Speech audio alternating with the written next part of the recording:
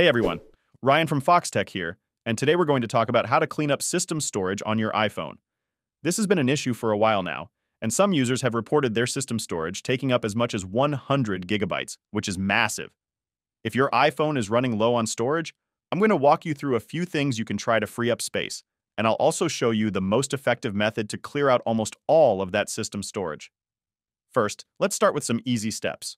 Open the Settings app on your iPhone, tap General, and then go to iPhone Storage. Here, you'll see a breakdown of what's taking up space on your device. One thing that often helps is clearing out the Safari cache. To do this, go to Settings, then Safari, and tap Clear History and Website Data. This will clear out all of your browsing data, and it's been really effective for a lot of people in reducing system storage. Make sure you clear all data, not just the past hour or day, to maximize the space you free up. Another thing you can do is delete old text messages. Go to Settings, tap Messages, and under Keep Messages, select either 30 days or 1 year. This will automatically delete messages older than your selected time frame, which can save a significant amount of space. Also, restart your iPhone regularly.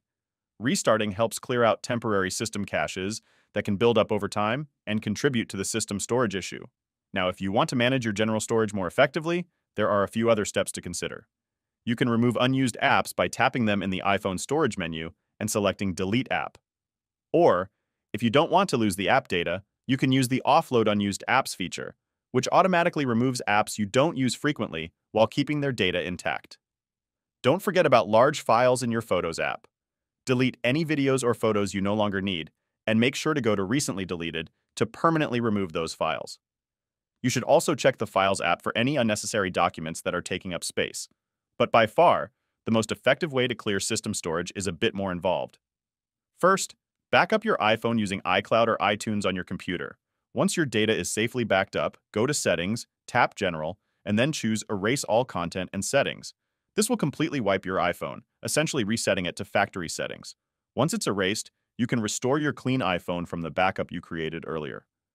This method will get rid of almost all the excess system storage and free up a ton of space. That's it for today's video. Thanks so much for watching, and I hope this helps you clean up your iPhone system storage. If you found this video helpful, be sure to like and subscribe for more tech tips. See you later.